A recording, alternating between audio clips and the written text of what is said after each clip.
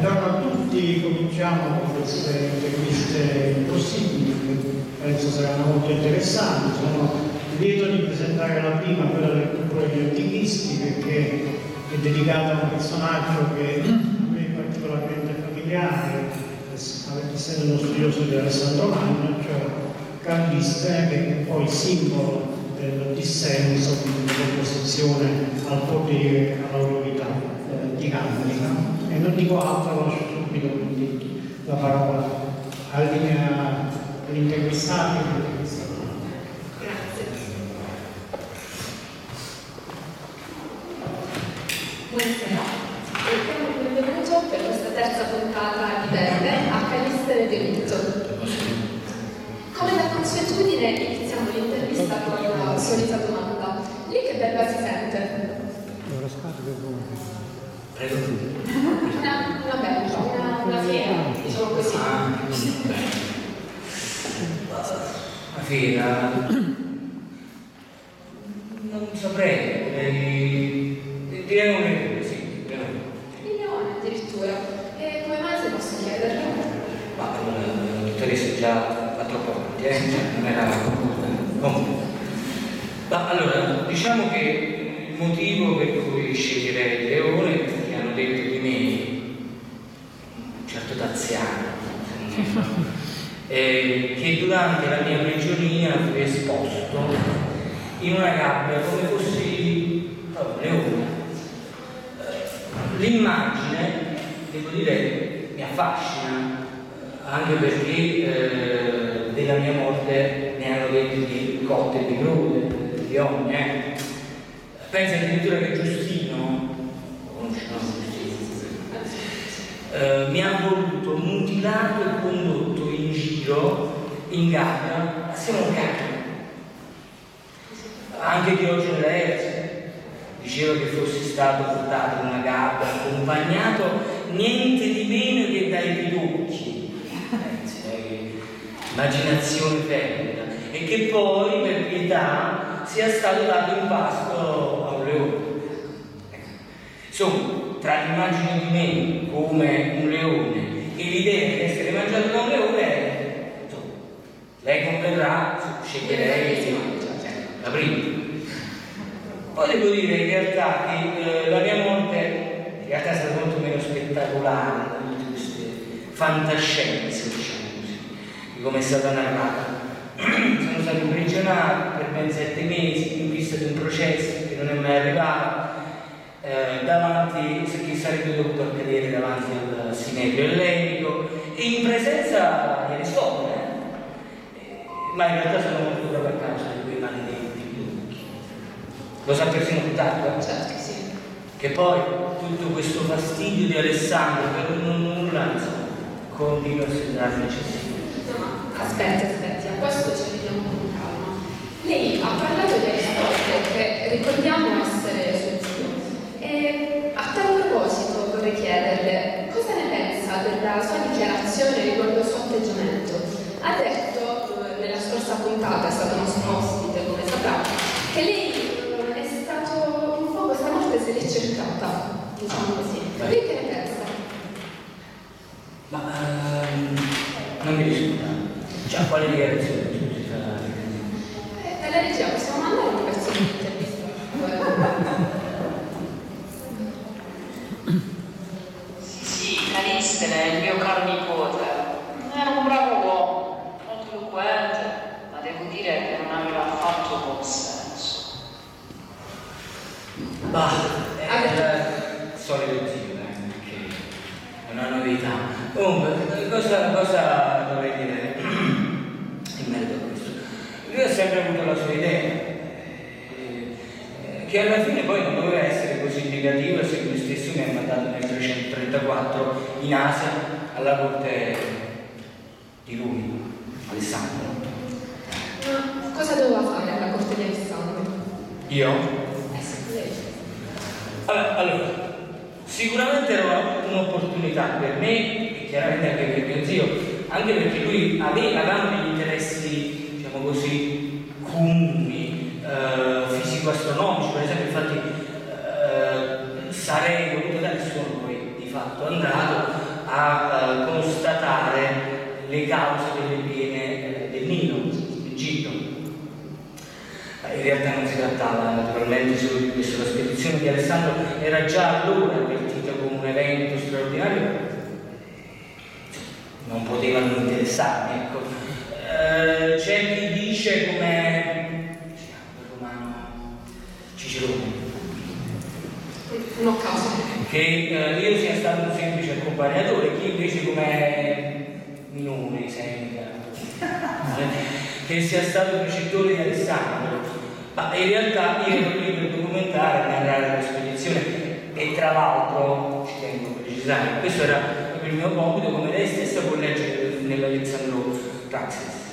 Ecco, ehm, mi dispiace dirle che le sue opere non ci sono giunte, se non pochissimi frammenti. Eh, lei sì. dice così. E glielo dico così, in diretta nazionale, mi dispiace. Ci siamo sentiti prima. eh, no? Eh, credevo lo sapesse. Vabbè, ma non voglio adesso restiamo focalizzati, andiamo avanti. Ecco, eh, mi interesserebbe approfondire il suo lavoro alla corte di, di Alessandro. Ariano, eh, ma anche Tireno, Ariano, lo conosce? Vabbè, ne ha sentito parlare. Eh, dice che lei ha contribuito nella sua opera a diffondere l'immagine di Alessandro come figlio di Zeus. Lei sarebbe quindi un adoratore? Un po'. Ma insomma, dottoressa, però lei eh, innanzitutto non era concordato, poi Ma lei eh, sa come funziona questo programma. Comunque, lasci perdere, lasci perdere quelli che dicono che è una sofista. Allora, non so se ho contribuito alla divinizzazione di Alessandro, ho semplicemente fatto il mio lavoro. La sua filiazione divina era un fatto vero. Cioè, a me pareva così, cioè, era figlio di Zeus. D'altronde lo confermava anche sua madre, Olimpiade. Se lo dice lei, allora ci vediamo. Eh. Dunque, si figuri. Poi l'avevano eh, confermato anche gli oracoli di Apollo a Siwa, preceduti. Come? Pure. Eh, cioè sì, hanno detto conferme. Quindi noi non potevamo esimerci. E tra l'altro erano preceduti loro dal passaggio perambulante dei corpi. E poi l'episodio bellissimo della battaglia eh, di Gaugamela, eh, che ho visto proprio io con i miei occhi, un testimone oculare diretto. Eh? Quindi, prima dello scontro, Alessandro, lui, Il grande. grande? Alessandro, Alessandro. Eh, incoraggiato dai tesseri dei greci, con la lancia nella mano sinistra eh, alzò la mano destra al cielo e invocò gli dei pregando di schierarsi dalla loro parte. E appunto, così fu, questo non c'è dubbio. Quindi gli altri abbiano messo in dubbio la sua discendenza divina, a me non mi importa. Ciò che mi affascina era l'importanza delle che mi affascinava al tempo, era l'importanza delle imprese di Alessandro e il mio dovere da storico era quello di raccontare quello che vedevo. Quindi non ho fatto niente di eh, diverso dal mio. Ecco. Ehm, però poi questa, questa deificazione che ha contribuito a narrare, le si è poi ritorta contro, no? Vede? Sì, sì. Ho, ho disegnato sicuramente Alessandro come un nuovo Mosè, guidato dagli dei, guidato dal volo degli uccelli, l'ho reso figlio di Dio. Forse l'ho proprio creato come un disano. Insomma, ma... Un. Sì, certo, per essere onesto, no? Ma eh, d'altronde neanche ad Eracle noi greci abbiamo tributato noi divini vita, quindi tra l'altro Alessandro ha preso forse un po' troppo l'area orientale, è tornato dai suoi viaggetti, quelli barbari, su quei tre barbari, e ci ha chiesto di fare la proschinesis. Però, aspetti, spieghiamo perché a casa che cos'è la proschionesis. Dottoressa, no, eh, allora, o viene preparata o non c'è, ho capito? Allora, la proschinesis, la proschinesis è quel, quel rituale in cui ci si inginocchia, crede, reverenza, roba da Cose così. Allora, dicevo, lui ha di fatto assunto troppo l'aria da, da orientale. A noi greci, tra l'altro, voleva farci eh, pros- prostrare, a noi greci, eh, il popolo più libero della terra. Eh, dice. Anche Adriano forse ha detto che avrebbe fatto meglio imporre questo disonore ai macelli e ai barbari, ma non a noi. Ho sempre rifiutato di incinarmi, ma fino a quella volta in cui quel maledetto di Fede, maledetto, ha fatto la spia. Quel simposio fu l'ultimo a cui partecipai. Eravamo solo greci e macelli. Il vino girava e tutti bevevamo.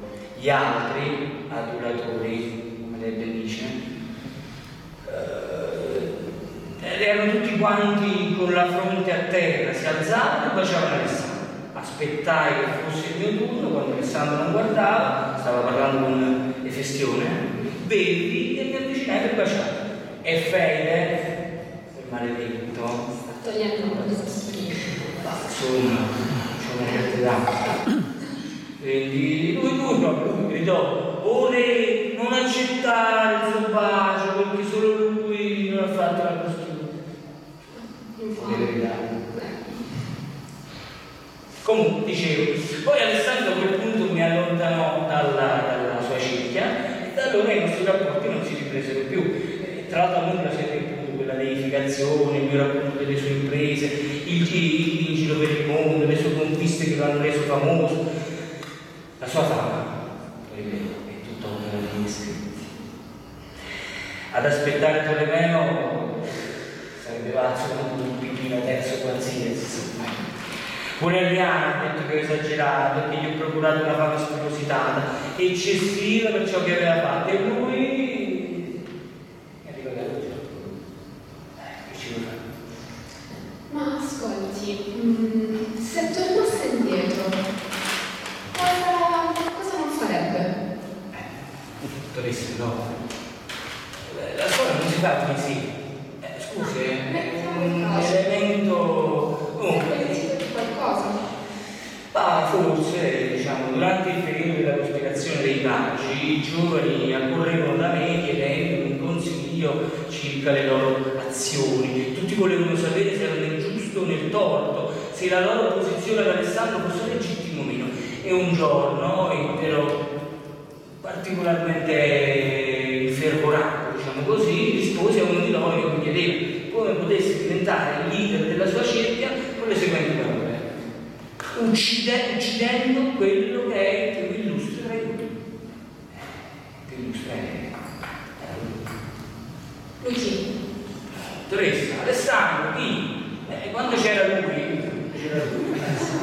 Oh, E questa frase è stata la mia condanna, non so come, perché poi ogni bocca può essere possibile, e in quella reggia anche i muri arrivano le orecchie.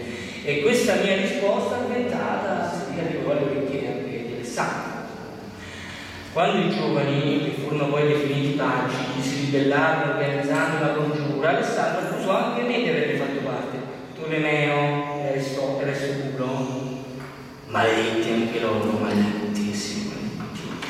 Hanno diffuso questa voce, forse perché non stavo nemmeno tanto simpatico, almeno a loro, insomma, seri barbari. Sarà, si sarà fatto due domande. Eh sì, Ok. marzupianamente si sono date delle risposte. ecco. Insomma, però Plutarco, Sì. Plutarco, mi faccio perdere il film, eh. Mi interrompo. Plutarco, onesto come sempre, è andato a fondo della vicenda e infatti ha scritto che furono gli stessi paggi che dissero di non aver avuto coniuge, quindi io ero sempre la responsabilità. Dal canto suo, Alessandro, non dico una cosa nuova se dico che Alessandro era aduso a questi comune, ecco, già concreto, poverino, aveva. E in quei giorni, dopo aver sentito quella frase che avevo pronunciato, mannaggia a me che parlo, ecco, e dopo non essermi prostrato, io stavo particolarmente lo stomaco, ecco, e dice tu, spedite, per farmi fuori. Ecco, però mm, alcuni testimoni riferiscono un dettaglio che lei non ha menzionato. Eh, Io posso ricordare tutto. il, giorno, il giorno in cui non si è avvicinato ad Alessandro e poi uscito dalla sala del banchetto dicendo, e cito testualmente, bene, andrò via con un bacio in meno. Non crede a posteriori, che questo atteggiamento abbia un po' tradito orgoglio, anche una certa trattanza da parte sua, ne, ne valeva davvero la pena. Io so, lei dove vuole fare? Orgoglio e tracotanza, io. Eh, non sono mica un barbaro. Già le ho risposto. Io sono greco. E stiamo qui a pettinare? Sono greco. Greco. Greco col pedigree. Greco di Olinto, di Olinto, Olinto, di Olinto per me. La, la, la vita è virtù, o vivo secondo essa o non vivo. Io sono stato sempre me stesso, sia chiaro questa cosa. Cioè mi chiede se ne è valsa la pena. Eh, io almeno sono morto da greco, ho dissentito perché non trasformo il mio essere per lisciare il pelo al potere. La storia stracolma di Lanché, di Valletti, di Zerbini, del, pote- del potente di Turno, di scrittori che l'hanno travisata, camuffata, al punto da inchinarsi a quel potere, salvo poi trasformarsi quando cambia il despota di turno. Ma il tempo, dottoressa, il tempo, riporta sempre le cose al proprio posto. Eh, E il mio è parte della ragione, nonostante ci fossero stati e ci siano ancora dei delatori che, hanno, che mi hanno visto tra i traditori, nel torto, Comunque, ora ci abbiamo la conclusione, vedo che è un po' stanco, lei ha una certa età. Ecco, lei anche in questa intervista ha rivendicato il suo dissenso, convintamente. Cosa direbbe, se posso chiederle, alle nuove generazioni, a quei, quelle ragazze e quei ragazzi che ci stanno guardando da casa in questo momento, che ascoltano e che vorrebbero far sentire la loro voce? Signora, questa dottoressa, scusi, ma questa non era ricordata. Lei sa come funziona questo programma, io vi dico certo. si trova a preparare a delle sorprese. Ho capito. eh, Sicuramente non gli consiglierei, non consiglierei loro di uccidere tutti. Guarda, già fatto, ce l'hai sentita Eh, guarda, parlare. E poi ragazzi, ragazzi, studiate e non imparatevi. Non si può. Bene, allora ringrazio, la regia, i Arrivederci. nostri collaboratori